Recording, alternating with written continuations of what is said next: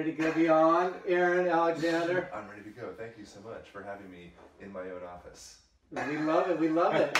we are here, Coast Cryo. Coast It's Cryo, Venice, Venice, California, right Venice, down by the California. Right near where you live. And you know what? We are going beyond today with Aaron Alexander, aligned in every way, shape, and form. He has his aligned therapy, his aligned bands, he has aligned podcast. So if you haven't heard about him, I found out about him through Bulletproof Conference. And I did his his outbreak that he did, and he did a movement session with us, and he had us move in every direction. It was absolutely fantastic. We were falling down, getting up, moving every which way, and he is so graceful to see him move. He's been dancing for years, got into ballet a lot, and so he has these fluid movements, ultra flexible. I mean, I'm super flexible, but he's at a whole different level from his flexibility. So we are blessed to have you here with us today. Aaron styled us with these amazing headphones and uh, just the mic. So I can't drop the mic because it's attached to my head right now. but we probably would at some point Some- after this podcast is over and or, or summit, if you will. But today we are going beyond on whole body, whole brain, and movement is the essence of everything for me. It's it's athleticism has rhythms of flamadiddles like drum beats where you're just moving. It's cross crawl coordination. You, you're syncing all these elements together. And we train in non-linear, so we're doing semicircles, figure eight, so we're connecting with the infinite flow of the universe. That's what I love about movement for sport and movement for life. But when you do this, you can optimize your whole well-being. So when you talk about movement and whole body, whole brain, what's the first thing that comes to mind for you, Aaron? Uh, so before we were talking a little bit about uh, just how to start integrating some of these principles into everything that we're doing, right? So before this, we were talking about like, okay, like maybe we could sort out a sitting position that we can kind of start stacking variables, right? So we end up waiting to go to a yoga class at 6:30 p.m. Right when we we could potentially instead of that just make our life be the yoga class. Okay, So something that I think everyone can start to start to tinker with is just playing with what's my sitting position. So while I'm in my office or my house or wherever it may be, or my car, or my transportation, um, am I able to integrate better movement fundamentals into that? And it's figuring out like, okay, cool, yes, that sounds like a great idea. Now, what does that mean? And it's something we can we can start to discuss if you if you if you'd like. I love it. I love it. Yeah. No, you know what? It's awesome. He, the, the stacking is like a big word for me. And stacking the nervous system to get you to be a whole brain thinker, a whole brain mover. It's, it's, it's essentially what we do, what I've done for 20 years. You're on a Bosu ball, you're on one leg, you're juggling, you're stacking the nervous system, you're adding math equations while you're juggling, while you're balancing on one leg on the Bosu ball. Like these are things that are super dynamic, but to stack your life and to start to move and create, he's sitting eh, with his legs crossed, and, and I'm not even going to attempt to do it. But but this is this is feels better for me. It's not you know there's no such thing as better or worse, good or bad. It's not a moralistic thing, but it's not to prove a point. I promise. it's literally wanting to compress blood out of my legs. Yeah.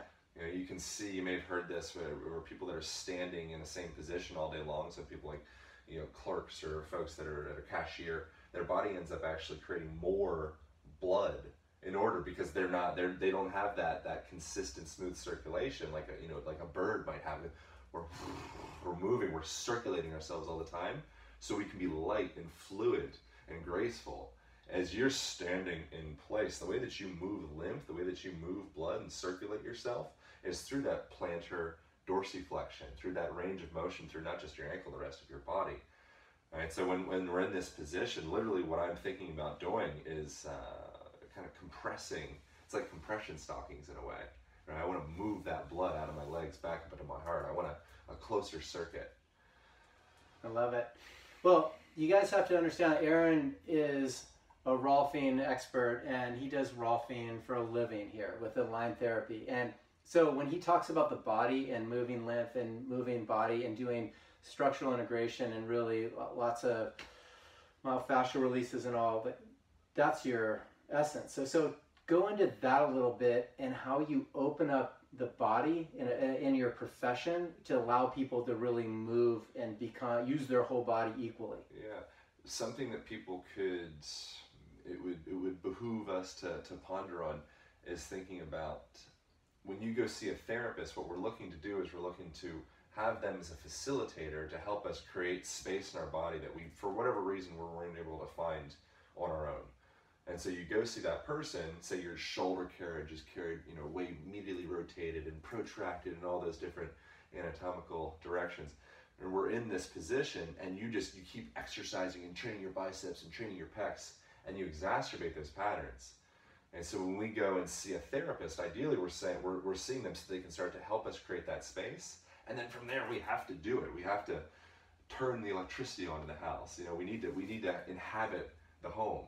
You know, from there we end up going into movement exercises or movement practice. So something really simple like just overhead range of motion. You could even again sitting while you're in your office or wherever it is, just put, putting your arms up over your head keeping your thumbs facing back, stabilizing that shoulder girdle, and really punch, punch, punch, punch, punch. Right? This is Kundalini yoga. This is a lot of different yogas. Okay, that you're going to be spending that. You could you could do this morning. I did something pretty wacky, um, where we were doing. I was doing like a like a breath of fire thing. and you're really creating that that compression, really starting to speak to your guts. When we wake up in the morning, we're in this really place of kind of just like stagnance. And so start, starting the day, it's okay, I want to turn my engine on. Right? So when we see a therapist, what we're doing what we're doing with that ideally is they're creating space that we couldn't find on our own and they are educating us on how we can start to keep on perpetuating that space. And that's the really crucial part. So when someone comes and sees me, we create space, but it's all educational. It's all perspective based. If I'm just your eyes are closed and you're checking your cell phone and I'm just rubbing elbows into your glutes, that's I have no interest in that. You know, so even people listening as therapists, if you're a therapist, um, something you can play with is starting to integrate a little bit more education in with your clients, and people receive it really well. We have this fear that people don't want to learn, they don't want to grow, they just shut up, get relaxed. You know, but people really, we need to inhabit it, and the way that you do that is through education. Love it. I love it. Now, in addition to being a fantastic athlete as well, you enjoy surfing, I know, and and, yeah. and for us, surfing is just so dynamic and the flow. Talk about the flow of movement, you know, and then tie it into surfing and how it ties into your life. Yeah. So I started training at uh, Gold's Gym Venice in the last year. And uh, have you been down there at all? I have. Okay. I trained with trained with Jerzy Gregorek. Oh, I know Jerzy.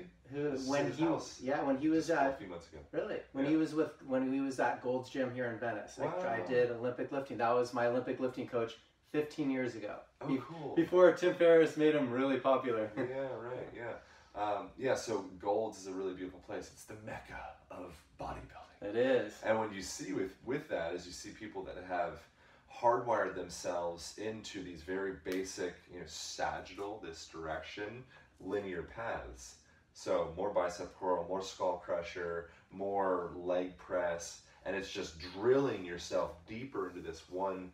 At first, it starts as a path. Eventually, it becomes a rut. You know, then all you end up being is just a, a bodybuilding machine. You look really good doing the movements that you've practiced for the last 20 years, but when it comes down to any adaptability, you're screwed. You don't. You haven't expanded beyond that point.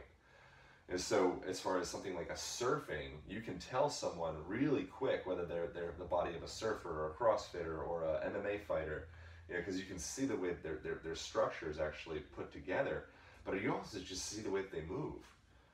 You know, so someone that's able to to surf, in order to do that, you have to be able to be able to uh, balance a lot of different variables all at once, right? So, we you were mentioning like practicing being on a stability ball that's a really beautiful practice because all of a sudden the equation gets really complicated. But the issue with that is, is if all you do is the surf or all you do is the stability part, then you lack that integration, be able to dig in, be able to pick up a trailer. So I think that the, the real power is is being able to to traverse both sides. so I can support, stabilize, screw my feet into the ground, engage the hips, get that hip hinge, long neutral spine, grind. That has a lot of value. And then from there, okay, also I can throw a kick, I can dance, I can, you know, be, I, I, I can actually explore more like dynamic movement. But it, it needs to be both. You know, so surfing is, uh, it's really important, but it's only, that's only part of it as well. It's really easy for somebody to be like, oh, it's all you need. You know, explore both. No, definitely. Well, I mean that's that's the essence of being a whole brain, whole body performer is to not just be linear in what you're doing or ultra focused in one thing. And where you're gonna, if you're a tennis player and you're playing super, uh, just just long hours all day for a cumulative 20 years, you're gonna, you know, these you're gonna have overdevelopment on one side, and it's no different if you're a golfer too. Yeah. I mean, swing opposite handed, train opposite handed, but but uh, being a being able to cross train in multiple sports will allow you to be even better in what you're doing. Yeah, yeah. What kind of cross training do you do? I do a lot. I swim. Cool. I swim mostly. Uh, for surfing, well, I play basketball. So I play tennis, basketball. I ride bike. I I swim. I run. Yeah. And all the winter sports. Do you feel like, do you feel sports, as you pick up a new skill, do you feel that spills into the other skills? Oh, definitely. Isn't that I'm- beautiful? Yeah, I think it's so beautiful, and that's that's the the beauty of it too. Is when I'm training like with Jerzy with Olympic lifting for sport. I mean, I'm not the biggest guy in the room. He is, and and but I'm super stable. So guys twice my size, they can move them. And when when when you're stable and you're training the whole body in a top to bottom mo- movement, yeah, you're gonna have be a higher level performer. Yeah. There's no question about it. And then when you could take that like a, a Olympic lifting for sport modality and see how stacked and stable you can get if you're a golfer, you're not going to be hunched over the ball swinging. You're going to be a lot more open in your power in your power stance, and then you're able to crush the ball because you have a fuller range of motion. So definitely all these sports and and moving and training in different modalities are are unbelievably important. I feel. And so something that for people like a, a take home for people is uh, sorting out your hip hinge. You know, and that's something that you'll see throughout every sport that you mentioned. If you can organize yourself around and have a really well supported hip hinge, then you start to drive that force through your through your glutes, through your hips. Most of us, what we end up doing too often, which you're doing a really great job of uh, keeping yourself on that front edge of the sit bones right? So it, what you'll see is you can actually tell someone that's going to have like a like a nice booty just by the way that if I did not see the booty, I could I could guess with 99% accuracy whether there will or will not be a booty there just based off of the way that they move for you know a few seconds. If they pick something up off the ground you can see it oh they're going to have a booty promise right? If they end up actually hinging those hips back creating a nice angle as we start to bring those hips backward I, was, I did an interview with recently with stuart mcgill he's like back spine expert guy and one of the things I, I got from him was as that butt goes back behind you the leverage ends up increasing up to 10 times.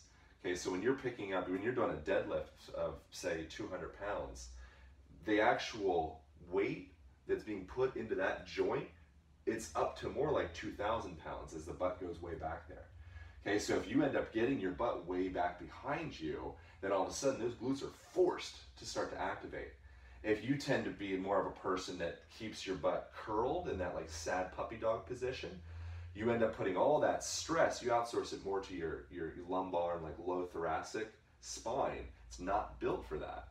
Right? And then we end up having having uh, interesting, interesting little little little pieces.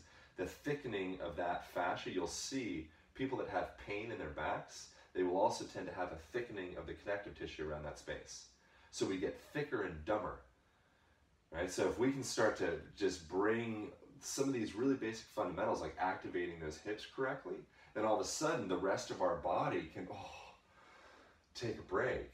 You know, we start placing that muscle where we actually, from like a magazine perspective or TV perspective, like we want to have that muscle in these appropriate places. But So- the way we do is through the movement. So, what's a good exercise without wrenching the facets? Yeah. How do we get ourselves to train the the pelvic movement?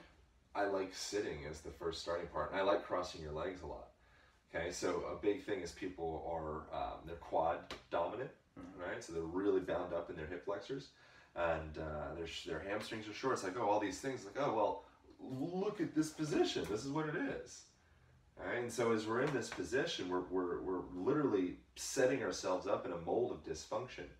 So for if you're in that position, say you're in that position for maybe six hours a day, right? Some people a lot more than that. You're just you're literally just building yourself into this this prison of sorts. So the biggest thing is starting off, figure out front edge of sit bones.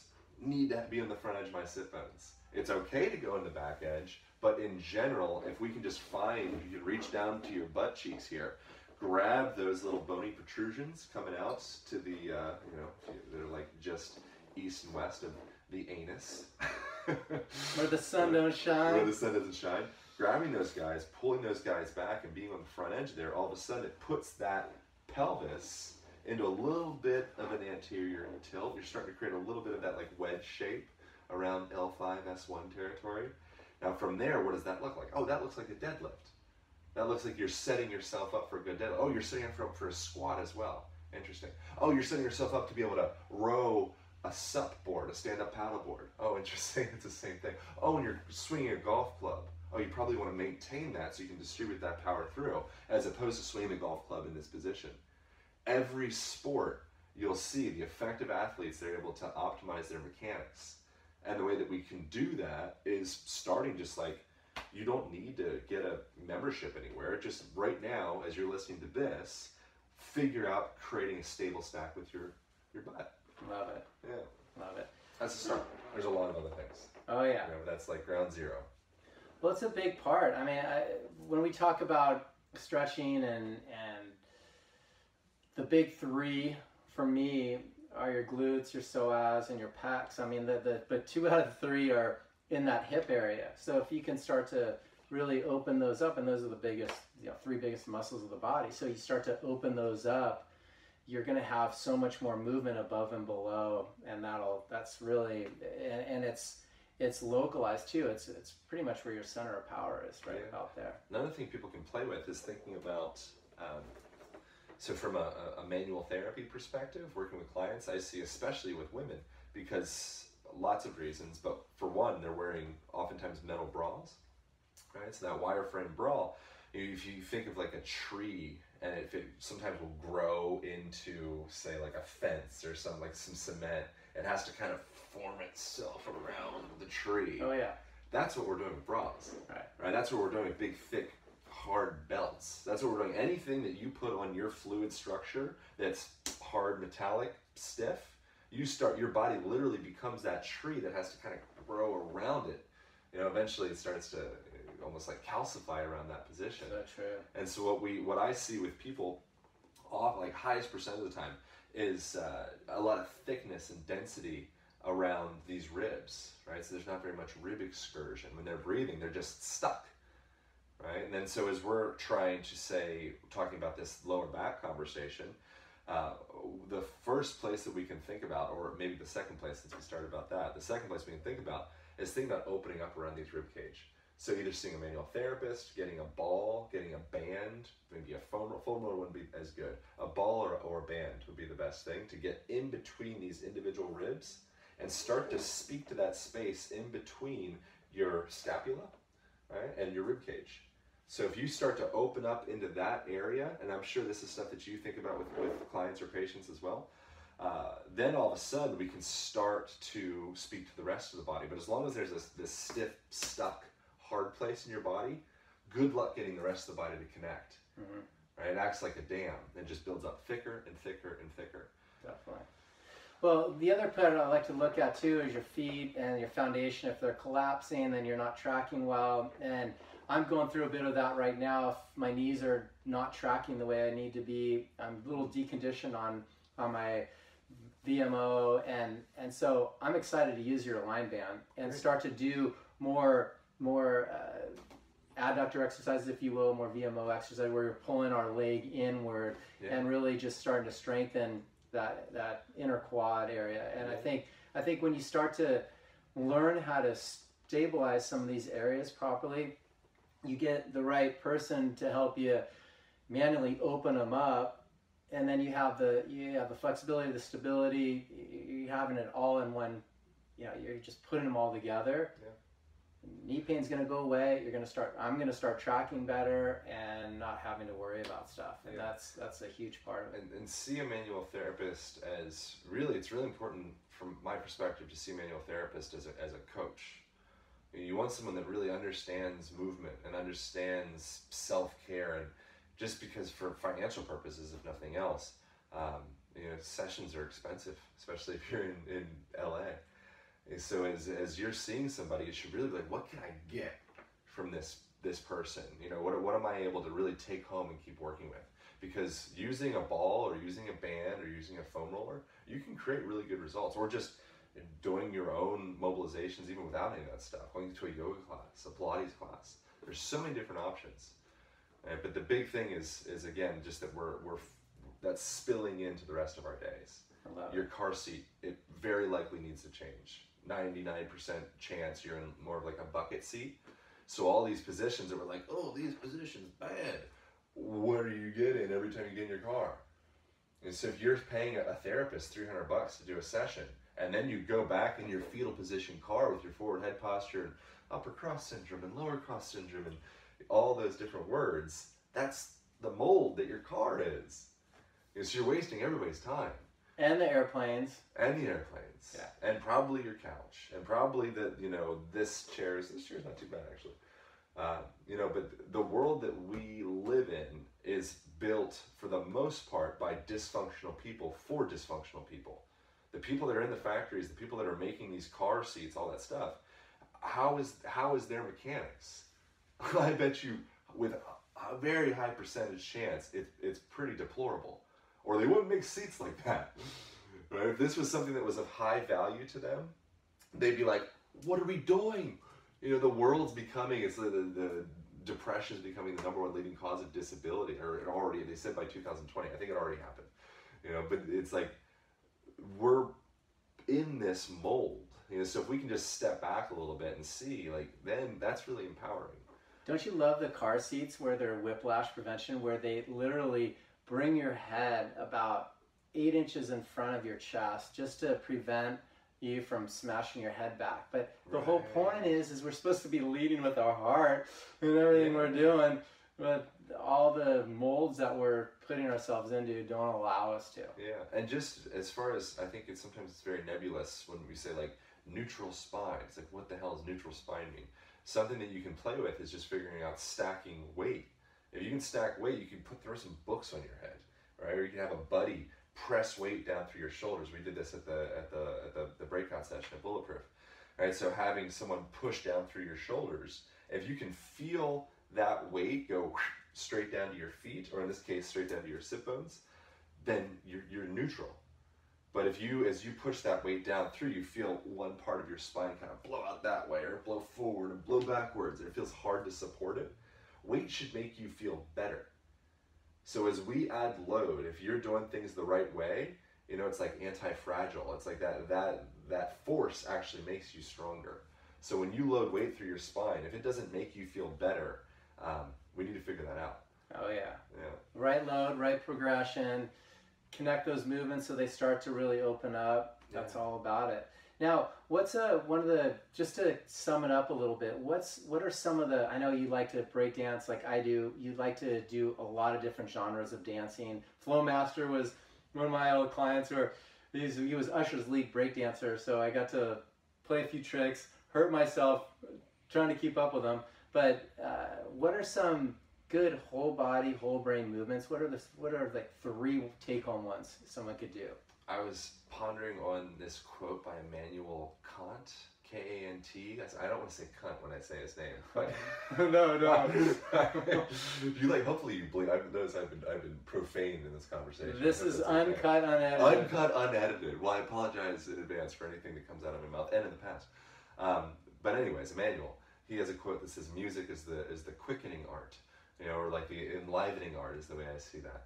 You know, so so that's a big thing is is uh, just allowing yourself to get moved by something. The ocean does a good job moving you Mm-hmm. right? When you're on a paddleboard, you kind of ooh, ooh, ooh, ooh, you, you get moved by it. Right.